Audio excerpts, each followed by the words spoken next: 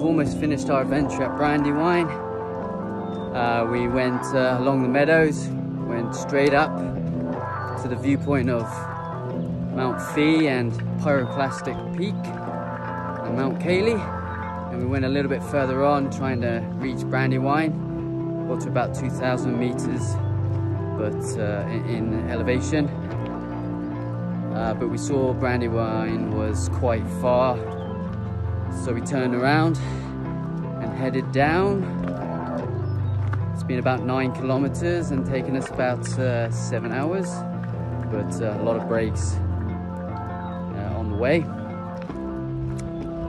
Uh, I'll post the stats at the end and uh, we're gonna head back, get some food. We'll see you on our next adventure.